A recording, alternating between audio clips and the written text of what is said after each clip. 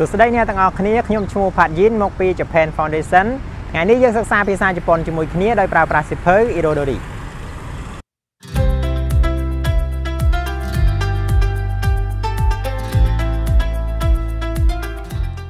ថ្ងៃនេះយើងសិក្សាមេរៀនចុងក្រោយនៃសៀវភៅកម្រិតដំបូងភាគ1គឺមេរៀនទី18 Nanika presento o agemasen ka តើនៅពេលណាឬក៏ក្នុងឱកាសណាដែលអ្នកទាំងអស់គ្នាឲ្យអំណោយទៅកាន់នរណាម្នាក់ សម្រាប់ខ្ញុំឲ្យអំណោយទៅកាន់មិត្តភ័ក្តិឬក៏សាច់ញាតិនៅពេលដែលពួកគេរៀបការឬមួយក៏ថ្ងៃខួបកំណើតជាដើមចុះអ្នកទាំងអស់គ្នាវិញយ៉ាងម៉េចដែរថ្ងៃនេះយើងសិក្សាសភៅកម្រិតដំបូងភាគ1មេរៀនទី18ចំណុចទី1 Omedeto gozaimasu ជាមួយគ្នា Kendo ទី65គឺអាចនិយាយអបអរសាទរនៅពេលខួបកំណើតឬអាពាហ៍ពិពាហ៍តោះចាប់ផ្ដើមជាមួយគ្នា Ichiban ចូលស្ដាប់ការសន្ទនា ពួកគេកំពុងធ្វើការជូនពរទៅកាន់មនុស្ស4នាក់ Ichi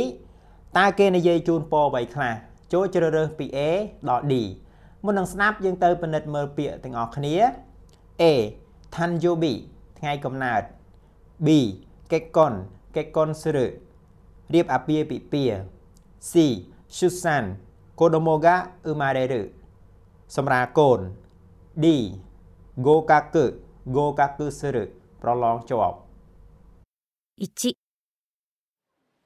お子さんが生まれたそうですね。うん、ありがとう。昨日生まれたんだ。おめでとうございます。男の子ですか？女の子ですか？女の子。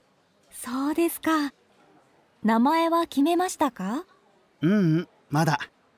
これから考える。楽しみですね。2ご結婚おめでとうございます。ああ、りがとう。これ、私たちからのプレゼントです。えー、ありがとう。嬉しい。相手はどんな人ですか？うーんと、まあ、普通の人？かっこいいですか？うん、全然。でも、すごく面白い人。いいなお幸せに。3今日私の誕生日なんだ。へえお誕生日おめでとうございます。はいはいおめでとうおめでとう。お祝い待ってますよ。お祝いね。私の国では誕生日の人がみんなにケーキをご馳走しますよ。へえそれはいいね。ええー？4 JLPT 合格したそうですね。おめでとうございます。あありがとうございます。たくさん勉強しましたか？はいたくさんしました。すごいですね。私も合格したいです。大丈夫。きっと合格しますよ。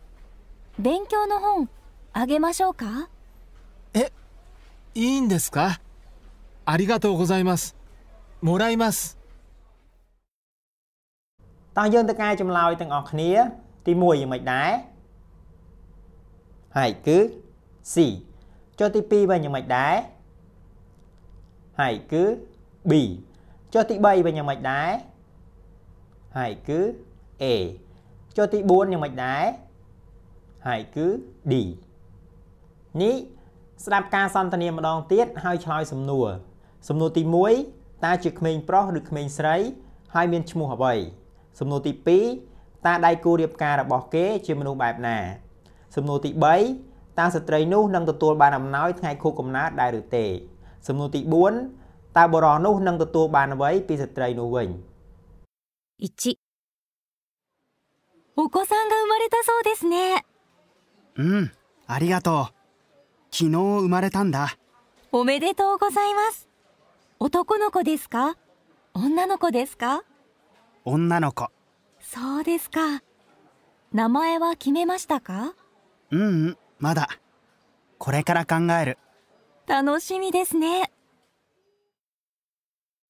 2ご結婚おめでとうございます。ああありがとう。これ私たちからのプレゼントです。えー？ありがとう。嬉しい。相手はどんな人ですか？うーんとまあ普通の人？かっこいいですか？うん全然。でもすごく面白い人。いいな。お幸せに。3今日私の誕生日なんだ。へえ、お誕生日おめでとうございます。はいはい。おめでとうおめでとお祝い待ってますよう。お祝いね。私の国では誕生日の人がみんなにケーキをご馳走しますよ。へえ。それはいいね。ええ4 JLPT 合格したそうですね。おめでとうございます。あありがとうございますたくさん勉強しましたかはいたくさんしましたすごいですね。私も合格したいです。大丈夫きっと合格しますよ勉強の本あげましょうかいいんですかありがとうございます。もらいます。 តើយើងទៅកែចម្លើយទាំងអស់គ្នា ទី1យ៉ាងម៉េចដែរហើយគឺក្មេងស្រី ហើយមិនតាន់មានឈ្មោះទេចុះទី2វិញយ៉ាងម៉េចដែរហើយគឺជាមនុស្សធម្មតាមិនសង្ហាប៉ុន្តែគួរឲ្យចាប់អារម្មណ៍ចុះទី3វិញយ៉ាងម៉េចដែរហើយគឺគាត់មិនទទួលបានអំណោយទេចុះទី4យ៉ាងម៉េចដែរហើយគឺគាត់ទទួលបានសិភៅសិក្សាសាន់ពិនិត្យមើលពាក្យហើយស្ដាប់ការសន្ទនាម្ដងទៀត តោះយើងទៅពិនិត្យមើលពាក្យទាំងអស់គ្នាអូតូកូណូកូក្មេងប្រុសអនណាណូកូក្មេងស្រីឃីមេរឹសម្រាប់ចិត្តខាងហ្គាអេរឹគិតវ៉ាតាស្តាឈីពួកយើងអ៊ឺរេស៊ីរីករាយអៃតេដៃគូអយវៃអំណោយហ្គូជីសូសឺរឹប៉ាវអាហារគីតូទីបំផុតអាហ្គេរឹឲ្យ ថាណូស៊ីមីដេស្នេស្ដាប់ទៅគួរឲ្យរីករាយណាស់អូសៀវ៉ាសេនីសូមជូនពរឲ្យមានសុភមង្គល 1お子さんが生まれたそうですねうん、ありがとう。昨日生まれたんだ。おめでとうございます男の子ですか女の子ですか女の子。そうですか名前は決めましたか うんうん、まだ。これから考える。楽しみですね。2ご結婚おめでとうございます。あありがとう。これ私たちからのプレゼントです。ありがとう。嬉しい。相手はどんな人ですか？うーんとまあ普通の人？かっこいいですか？うん。全然。でもすごく面白い人。いいな。お幸せに。3今日私の誕生日なんだ。へえ、お誕生日おめでとうございます。はいはい。おめでとうおめでとお祝い待ってますよ。う。お祝いね。私の国では誕生日の人がみんなにケーキをご馳走しますよ。へえ。それはいいね。ええ4 JLPT 合格したそうですね。おめでとうございます。あありがとうございますたくさん勉強しましたか？はいたくさんしましたすごいですね。私も合格したいです。大丈夫。きっと合格しますよ。勉強の本あげましょうか？えいいんですか？ありがとうございます。もらいます。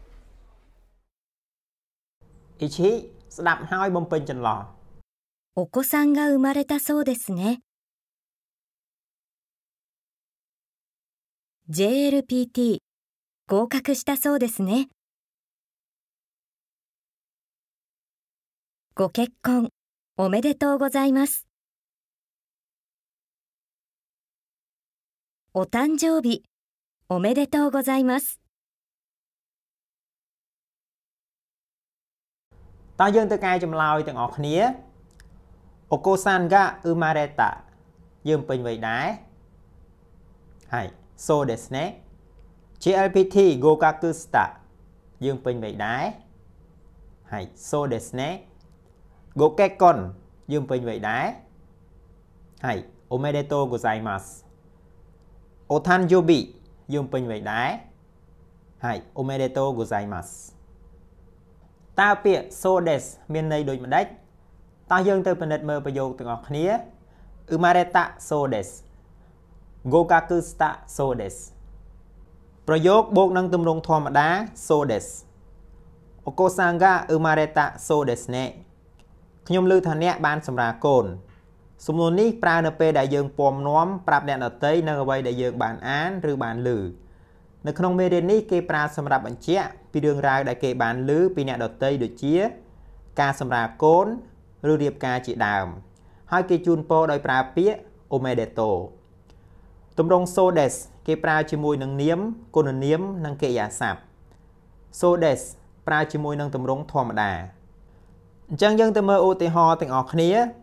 Raiketsu គេ consider so desu ne omedetou gozaimasu ខ្ញុំលើថាអ្នកនឹងរៀបការនៅខែក្រោយ សូមអបអរសាទរ Arigato gozaimasu សូមអរគុណរបៀបបង្កើតប្រយោគបូកនឹងទម្រង់ធម្មតា so desu នាមស្របបច្ចុប្បន្នកាលនាមដាក់ kyo wa tanjobi ដាក់ so des អតីតកាលនាមដត្តៈ Kino wa tanjobi datta so des បដិសេធបច្ចុប្បន្នកាលនាមចណៃ Kyo wa tanjobi chanai so des អតីតកាលនាមចនកតៈ Kino wa tanjobi chanakata so des គុណនាមណាដូចទៅនឹងនាមដែរសូមមើលនៅក្នុងតារាង គុណនាម e ស្របបច្ចុប្បន្នកាលគុណនាម e e Kyowa Atsui so des អតីតកាលគុណនាម e កតៈ Kinowa Asukata so des បដិសេធបច្ចុប្បន្នកាលគុណនាម e គឺណៃ Kyowa Asukunai so des អតីតកាលគុណនាម e គឺ Nakata Kinowa Asukunakata so des គេអាស័ព្ទស្របបច្ចុប្បន្នកាលគេអាស័ព្ទឬ Kyo Pathini Ikusodes អតីតកាលគេអាស័ព្ទតា Kino Pathini Itasodes បរិស័ទបច្ចុប្បន្នកាលគេអាស័ព្ទណៃ Kyo Pathini Ikanaisodes អតីតកាលគេអាស័ព្ទ Nakata Kino Pathini Ikanakata Sodes ពេលគេចង់និយាយពីការអបអរសាទរតើគេប្រើទម្រង់អ្វីអញ្ចឹងយើងទៅមើលប្រយោគទាំងអស់គ្នា Gokekon omedeto gozaimasu អូតាន់យូប៊ីអូមេដេតូកូសៃម៉ាស់គឺគេនិយាយពាក្យដែលត្រូវអបអរសាទរហើយបានគេនិយាយអូមេដេតូកូសៃម៉ាស់នៅតាមក្រោយនេះពិនិត្យតម្រង់ហើយស្ដាប់ការសន្ទនាម្ដងទៀត1お子さんが生まれたそうですねうんありがとう 昨日生まれたんだ。おめでとうございます。男の子ですか？女の子ですか？女の子。そうですか。名前は決めましたか？うんうんまだ。これから考える。楽しみですね。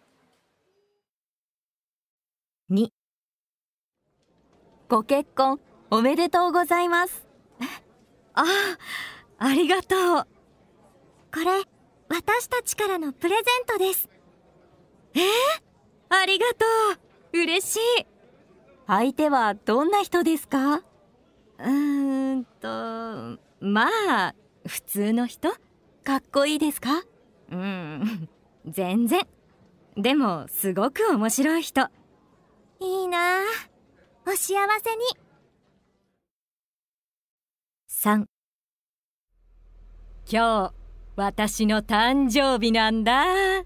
えお誕生日おめでとうございます。はいはいおめでとうおめでとう。お祝い待ってますよ。お祝いね。私の国では誕生日の人がみんなにケーキをご馳走しますよ。へえ、それはいいね。ええー、4 JLPT 合格したそうですね。おめでとうございます。あ、ありがとうございます。たくさん勉強しましたか？はい、たくさんしました。すごいですね。私も合格したいです。大丈夫。きっと合格しますよ。勉強の本、あげましょうか？え、いいんですか？ありがとうございます。もらいます。នេះបាំងចូលនិយាយពាក្យជូនពរឬអបអរសាទរអ៊ីឈីចូលស្ដាប់ការសន្ទនាお子さんが生まれたそうですねおめでとうございますありがとうございます男の子ですか女の子ですかご結婚おめでとうございますありがとうございます相手は どんな人ですかនេះស្ដាប់ហើយនិយាយតាមពីក្រោយឲ្យតន់សំឡេងនេះជាការវឹកហាត់និយាយឲ្យបានរលូនដំបូងយើងស្ដាប់បណ្ដានិយាយតាមពីក្រោយឲ្យតន់សំឡេងបណ្ដាដោយមើលអត្ថបទគំរូយើងធ្វើបែបនេះដដែលដដែលប៉ុន្មានដងរួចចុងក្រោយយើងស្ដាប់បណ្ដានិយាយតាមពីក្រោយឲ្យតន់សំឡេងបណ្ដាដោយមិនមើលអត្ថបទគំរូお子さんが生まれたそうですねおめでとうございますありがとうございます 男の子ですか女の子ですかご結婚おめでとうございます。ありがとうございます。相手はどんな人ですかសាន់ចូលអនុវត្តតាមអត្ថន័យនៅក្នុងការសន្ទនាទី1អញ្ចឹងអ្នកទាំងអស់គ្នាជាអ្នកនិយាយជូនពរហើយខ្ញុំជាអ្នកឆ្លើយតប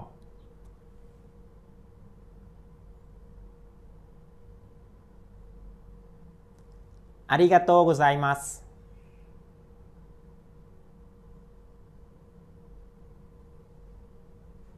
យ៉ងចូលដើរតួសន្ទនា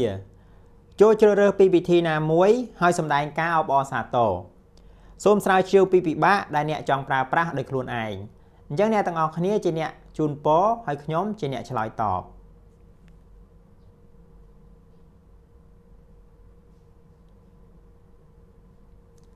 ありがとうございます。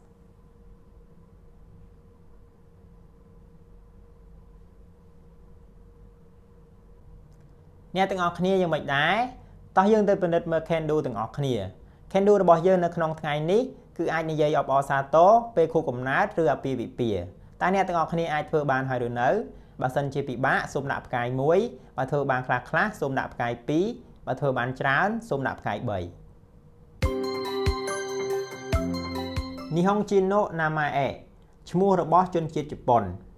នៅជប៉ុនមានទារកកើតឪពុកម្ដាយត្រូវកំណត់ឈ្មោះរបស់ពួកគេហើយជូនដំណឹងទៅការិយាល័យក្នុងរយៈពេល14ថ្ងៃដើម្បីកំណត់ឈ្មោះអ្នកអាចស្វែងរកអត្ថន័យនិងការបញ្ចេញសំឡេងនៃតួអក្សរកាន់ជីនៅក្នុងសិភៅឈ្មោះរបស់ទារកអត្ថន័យនៃឈ្មោះអាចនាំឲ្យមានសំណាងទៅដល់ទារកនៅថ្ងៃអនាគតឈ្មោះដែលមានប្រជាប្រិយភាពខុសៗគ្នាទៅតាមសម័យកាល កាលពីមុនឈ្មោះក្មេងស្រីជាធម្មតាមានភ្ជាប់ជាមួយនឹងអក្សរកុហើយឈ្មោះក្មេងប្រុសគេដាក់បញ្ចូលលេខអ៊ីឈីនីទៅតាមលំដាប់កំណើតរបស់ពួកគេប៉ុន្តែឥឡូវនេះมันសូវមានប្រជាប្រិយភាពទេថ្មីថ្មីនេះឈ្មោះដែលមានតួអក្សរកាន់ជីដូចជា Ren ឈុកគឺមានប្រជាប្រិយភាពគេមានកំណត់ចំនួនតួអក្សរកាន់ជីសម្រាប់ឈ្មោះប៉ុន្តែការបញ្ចេញសម្លេងគឺមិនមានកំណត់ទេ ដូចនេះឈ្មោះមួយចំនួនដែលពិបាកអានដូចជា Canon និង Rizumu ជាដើមសិភៅររីជាភាសាខ្មែរយើងអាចទាញយកពីក្នុង website នេះបាន ហើយសំឡេងក៏យើងអាចទាញយកពីទីនេះបានដូចគ្នាអញ្ចឹងសូមប្រើប្រាស់វាកុំខានហើយចំពោះព័ត៌មានផ្សេងផ្សេងសូមមើលសេចក្តីសង្ខេបអញ្ចឹងយើងចាំជួបគ្នានៅវីដេអូក្រោយទៀតសូមជម្រាបលា